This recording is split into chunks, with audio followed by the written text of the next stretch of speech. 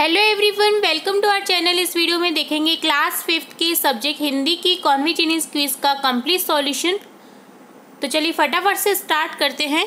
यहाँ हमें एक पिक्चर गिवन है, जो कि किस खेल की है?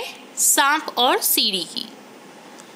तो यहाँ, इसे ध्यान से देखिए, यहाँ कुछ चीज़ें भी लिखी हुई हैं। जैसे तीन नंबर पे लिखा हुआ है, अपने सहपाठी की भोजन के दौरान मदद कौन? मदद करने के लिए शाबाश, ठीक है? तो यहाँ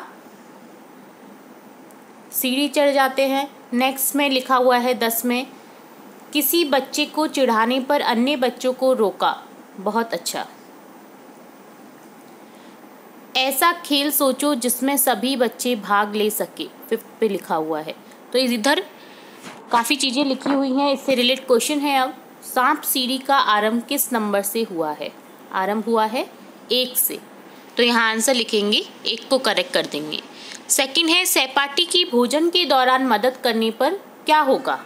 क्या होगा? सीढ़ी चढ़ेगा। ठीक है? तो यहाँ ऑप्शन सेकंड सही हो जाएगा। थर्ड है, दिव्यांग बच्चों को अपने साथ खेल में शामिल नहीं करने वाला पहुंचेगा। तो यहाँ दिव्यांग बच्चों को अपने साथ खेल में शामिल नहीं किया तो सांप खा जाएगा और चार पे पहुँच जाएगा। ठीक है? पच्चीस से चार पर पहुँच जाएगा तो यहाँ आंसर करेक्ट हो जाएगा ऑप्शन फोर्थ। नेक्स्ट इज़ सहपाठी की धीमी गति से काम करने से उस पर झल्लाने वाला पहुंचेगा। उस पर झल्लाने वाला पहुंचेगा। सत्ताईस। सत्ताईस जो है, यहाँ क्या लिखा हुआ है? सहपाठी को धीमी गति से काम करने पर उस पर झल्लाना। तो यहाँ सांप अगर काट जाता है सत्ताईस पर तो यहाँ पहुँच जाएँगे तेरह पर। तो सत्ताईस से तेरह पर पहुँच जाएँगे, ठीक है? तो यहाँ ऑप्शन करेक्ट करेंगे। ऑप्शन थर्ड नेक्स्ट क्वेश्चन है, खेल में कितने प्रकार के सांप हैं? खेल में कितने प्रकार के सांप हैं? तो यहाँ छह प्रकार के सांप हैं। तो यहाँ ऑप्शन करेक्ट हो जाएगा ऑप्शन थर्ड नेक्स्ट है, क्रम बीस पर सांप ने काटा क्यों? यहाँ एक और सांप सीढ़ी दे रखी है तो यहाँ लिखा हुआ है, क्यों काटा है? छात्रा की दिव्यांगता पर हँसी उड़ाई, ठीक है? तो यहाँ आंसर करेक्ट हो जाएगा, ऑप्शन फोर्थ, छात्रा की दिव्यांगता पर हँसी उड़ाई।